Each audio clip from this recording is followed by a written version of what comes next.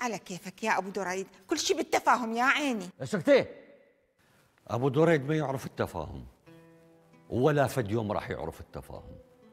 خليك خليك على هالحطة هواية أحسن.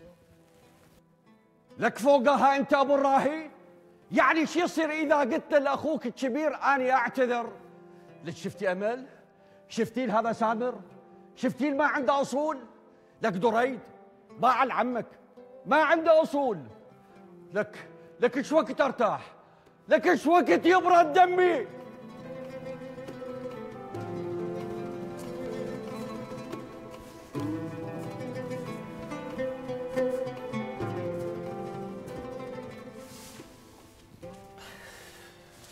ها بابا شو تفاهمت ويا عمو عامر؟ عمك ما حد يقدر يتفاهم وياه. وأني متندم بعت بيتي وجيت هنا. بابا انت بعت البيت على مود وصية جدو. بعدين انت عندك نص البيت هنا. اني ما أدري بالطاب وش أكو. كل ما أسأله على الطاب ويقول لي بعدين بعدين بعدين. ومرت علينا الأيام. اني أشوف نطلع من هذا البيت. لأنه ما أقدر أعيش ويا عمك. بابا تريد رأيي؟ أنا أقول لو نبقى قاعدين بهذا البيت.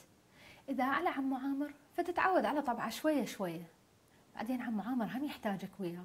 هم يحتاج أحد يقول له الصح من الغلط. ترى ما حد بالبيت يقدر يحكي وياه غيرك أنت. شغلة ثانية بابا. جدو باع كل أملاكه حتى ياخذ لنا هذا البيت وكلنا نلتم بيه ونقعد بيه. ليش تكسر بوصيته؟ الله كريم بنتي. أنا باكر إن شاء الله بالصبح مسافر. أريدك تحكي لي ويا عمتك. زين؟ وأنت تكونين بمكاني هنا. تأمر بابا. ولا ما حد يقدر ياخذ مكانك. تصبح على خير. صبحين على خير.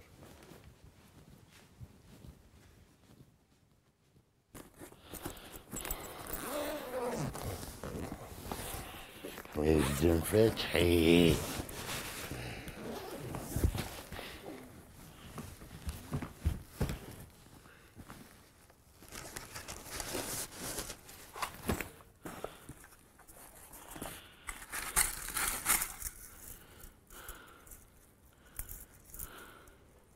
عزل عزاش نحله هذا الذهب منين لك؟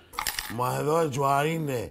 ناسين السيارة مفتوحة. فالح هسه ترجعه انت مخبرة صيدة ورجعت الحريق.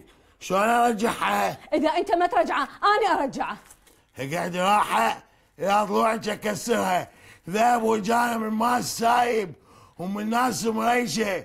ورجعنا بهذا الذهب. لازم نريش ونصير أوادم. عمر الحرام ما سوى أوادم. لا شو يسوي؟ يسوي أوادم. وانت إيش تردين بالضبط؟ ترديني ابقى اشتغل حارس ببيوت الزناقيل؟